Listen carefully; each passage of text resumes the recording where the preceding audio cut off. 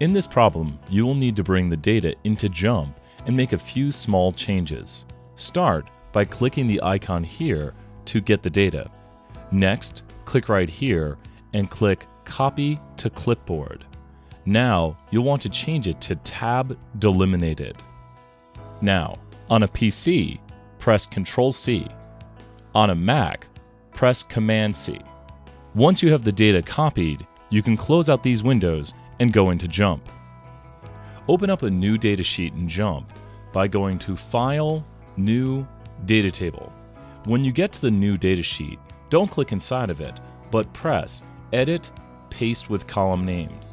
It's important that you see it ordered this way, with two red and then two blue. Next, we are going to change heat to a nominal variable. This will change the way it analyzes the variable, and if you don't make this change, you will get a scatter plot when you try to do your two sample t-test. Next, if we want to remove outliers, we can go to Analyze, Distribution. We will do by heat and then put in time to analyze as the y variable.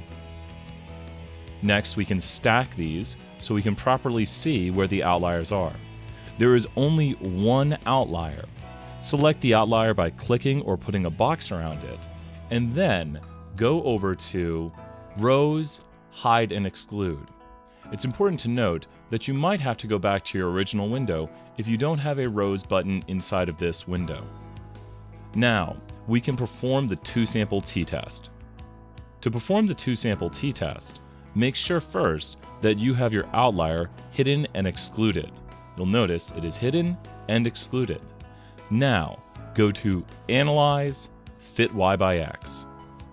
Under Analyze Fit Y by X, we want to use heat as our X variable and time as our Y variable. When we click OK, we see the data and the two distributions.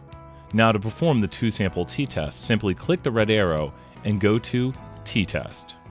Down below, we get the output for the two-sample t-test, showing us both the two-sided alternative and the one-sided alternatives.